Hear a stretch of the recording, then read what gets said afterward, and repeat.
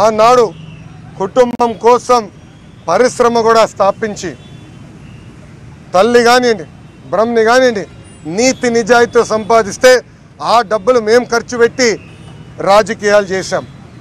గత పది సంవత్సరాలుగా భారతదేశంలో ఏ కుటుంబం చేయని విధంగా మా ఆస్తులు స్వచ్ఛందంగా మేము ప్రకటించాం.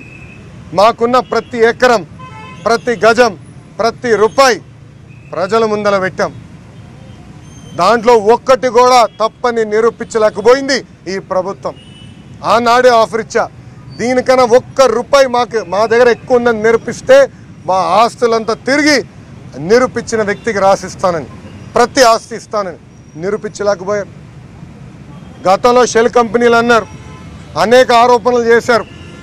ఇప్పుడు చివరికి ఆ ఇరవై ఏడు కోట్ల రూపాయలు తెలుగుదేశం పార్టీకి వచ్చిందని చెప్పే పరిస్థితి. తెలుగుదేశం పార్టీ ఒక పద్ధతి ఉన్న పార్టీ క్రమశిక్షణ ఉన్న పార్టీ. ఆనాడు అన్న ఎన్టీఆర్ దగ్గర నుంచి చంద్రబాబు నాయుడు గారి వరకు ఒక పద్ధతి ప్రకారం మేము నడిచాం. ఆనాడు చంద్రబాబు నాయుడు గారు ఒక్క చిటికేసి ఉంటే ఈరోజు ఈ పిచ్చి జగన్ రోడ్ల పైన తిరిగేవాడా పాదయాత్ర చేసేవాడా అని ఆలోచించమంటున్నా. ఎస్ రెండు వేల పద్నాలుగులో మేము సభ్యత్వం చేశాం. రెండు వేల పదహారులో సభ్యత్వం చేశాం.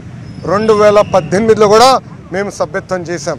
అదేవిధంగా ఇరవై ఇరవై రెండు ఏప్రిల్లో కూడా మేము సభ్యత్వం చేశాం. తెలుగుదేశం పార్టీ సభ్యత్వ రుసుము వంద రూపాయలు. మా అకౌంట్లు పార్టీ అకౌంట్లు చూడండి.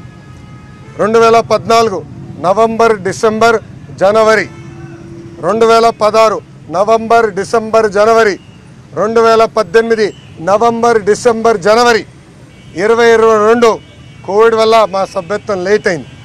ఏప్రిల్ మాసంలో తీసుకుంటే అకౌంట్లో తీసుకుంటే దాంట్లో క్లియర్గా దాదాపు పదమూడు వందల బ్రాంచుల్లో మా కార్యకర్తలు చెమటోర్చి గడప గడపకెళ్ళి తెలుగుదేశం పార్టీ సభ్యత్వం అందించి వంద రూపాయల రుసుము తీసుకొని ఆ అకౌంట్లో ఆ బ్రాంచుల్లో డిపాజిట్ చేస్తాం జరిగింది.